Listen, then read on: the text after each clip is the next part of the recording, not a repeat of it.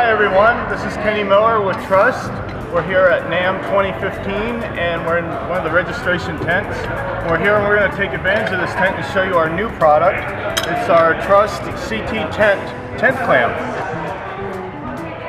It's specially designed for clear span tents that use the aluminum Keder beam framework.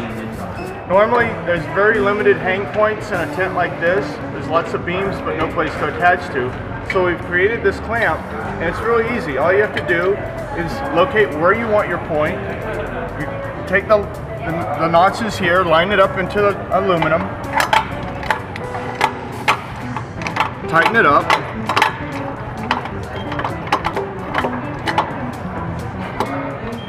snug it up with an adjustable wrench at the end.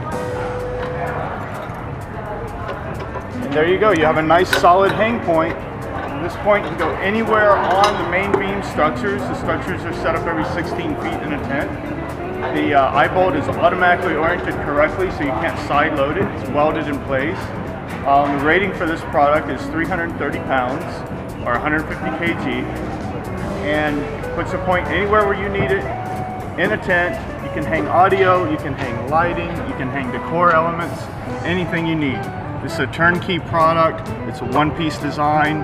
No, no parts to drop and fall when you're in the air.